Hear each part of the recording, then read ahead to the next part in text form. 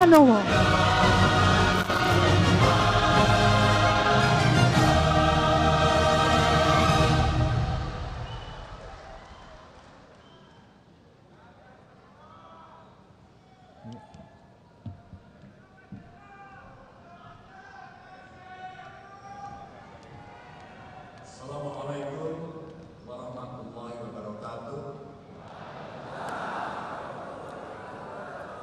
Selamat sore, salam sejahtera untuk kita semua. Om Swastiastu, Namo Buddhaya, Rahayu.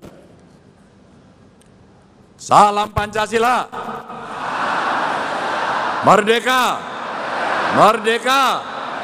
Merdeka. yang sangat kita cintai, kita hormati, kita banggakan Ibu Ketua Umum PDI Perjuangan Profesor Dr. Megawati Soekarno Putri yang selalu menggembleng kita memberikan pelajaran kepada kita apa arti kesabaran dan keteguhan dalam perjuangan. Yang terhormat, yang sangat kita banggakan, kader terbaik PDI Perjuangan, Presiden Republik Indonesia, Insinyur Joko Widodo,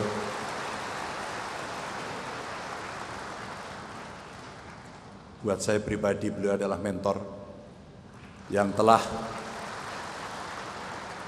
memberikan banyak sekali pelajaran sehingga kami mendapatkan banyak ruang untuk bisa belajar. Terima kasih Pak Presiden. Yang kami hormati Bapak Wakil Presiden, Bapak Kiai Haji Maruf Amin, terima kasih sudah hadir. Ketua DPR RI Mbak Puan Maharani, terima kasih. Tentu beserta seluruh jajaran DPP PDI Perjuangan, Pak Sekjen Mas Prananda, Rakernas menjadi makin lengkap dan merasa terhormat karena hadir para ketua umum partai dari ketua umum P3 Pak Mardiono terima kasih. Pak Haritanu terima kasih sudah hadir. Pak Usman Sabtaudang terima kasih. Dan kita juga merasa terhormat karena banyak sekali anggota kabinet yang hadir. Dari kementerian, terima kasih. Dari lembaga yang saya minta maaf tidak bisa menyebut satu persatu, dan tentu tiga pilar partai, dari eksekutif, legislatif, struktural, dan wabil khusus, para petani dan nelayan yang ikut bersama kita dalam Rakernas ini. Rakernas yang keempat PDI Perjuangan ini sangat luar biasa. bukan hanya jumlah pesertanya, tapi pilihan temanya yang sangat istimewa. Kedaulatan pangan untuk kesejahteraan rakyat dengan subtema yang sangat-sangat spesifik. Pangan sebagai lambang supremasi kepemimpinan Indonesia bagi dunia. Saya sambil mencoba membayangkan apa yang kemudian dipikirkan oleh Ibu Megawati. Kira-kira apa yang mesti kita kerjakan? Pada pada rakernas terdahulu, kita pun membahas persoalan-persoalan rakyat, tema kemiskinan, stunting, pemerintahan yang bersih anti korupsi.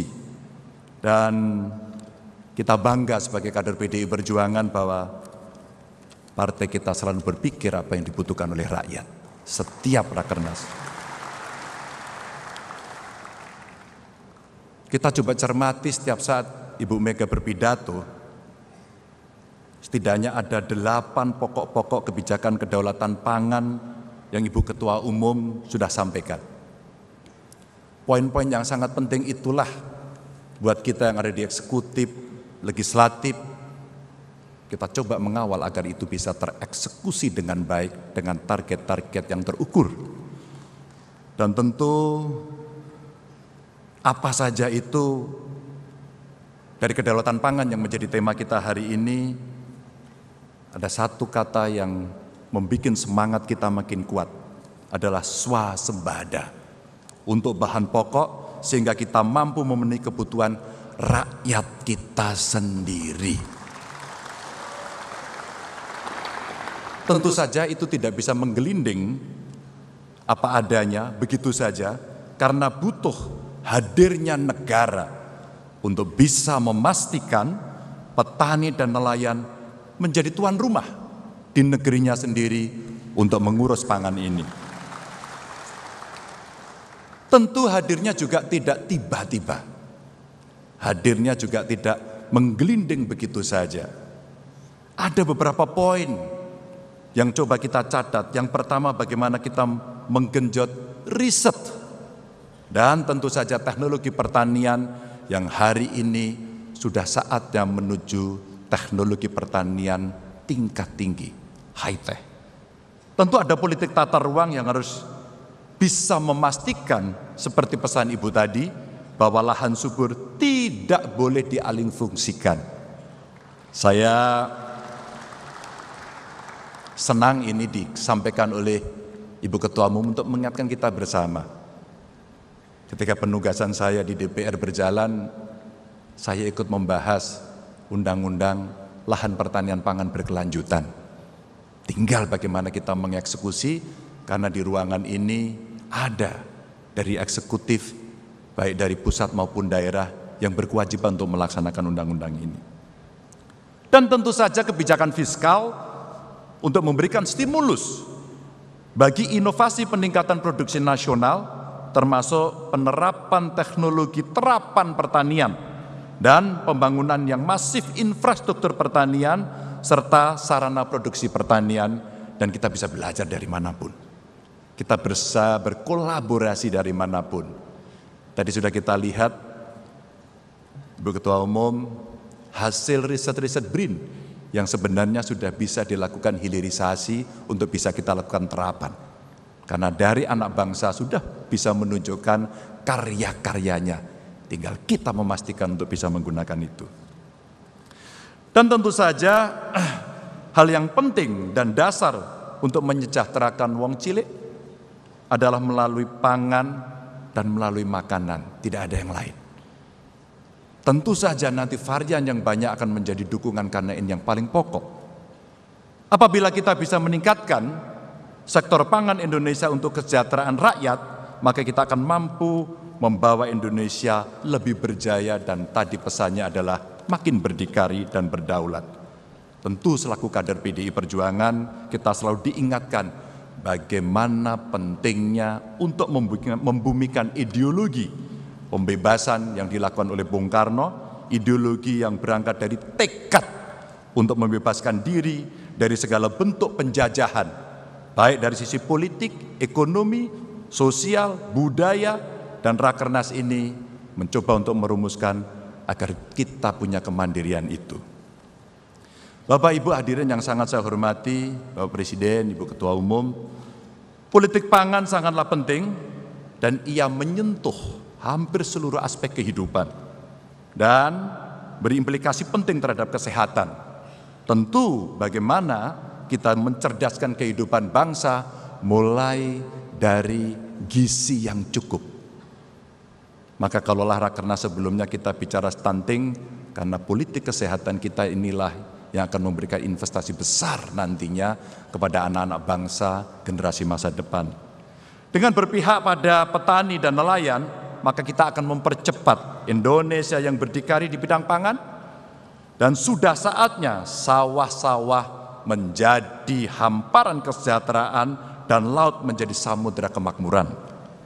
Dan Ibu Ketua Umum, hadirin yang saya hormati Bapak Presiden, kita bisa melihat Rakenas keempat ini dilengkapi dengan pameran pangan, sekaligus menjadi ajang untuk menyampaikan gagasan akan masa depan Indonesia di mana pangan perlu menjadi nafas kehidupan bangsa. Peningkatan nilai pangan Indonesia sendiri tidak bisa hanya dilakukan dengan memperbaiki satu aspek saja, pasti tidak akan cukup. Dan dari hulu sampai hilir mesti kita yakini bisa kita kelola Kita harus melakukan transformasi dan tentu saja akselerasi untuk meningkatkan nilai pangan yang dimiliki oleh tanah air kita.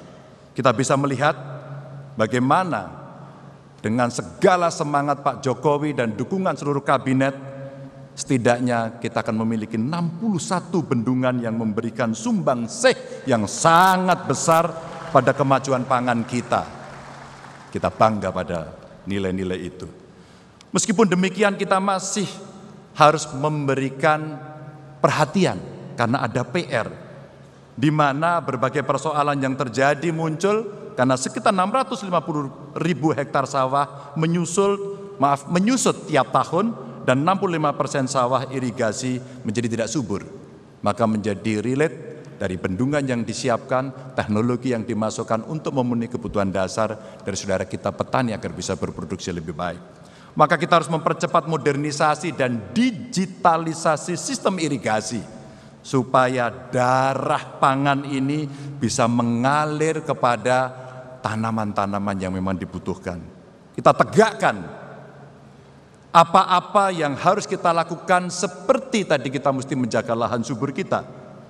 Biarkan sawah kita tetap menjadi sawah biarkan embung tetap menjadi embung yang akan memenuhi kebutuhan air dan biarkan laut itu hidup dan menjadi tempat ikan-ikan berenang karena itu menjadi sumber pangan kita juga. Pemerintah sudah menghitung kira-kira jika seluruh syarat itu bisa dipenuhi Bapak Ibu sekalian, maka di tahun depan kita bisa menghasilkan kurang lebih 12 juta ton ikan tangkap secara sustainable saya kira kementerian sedang melakukan itu.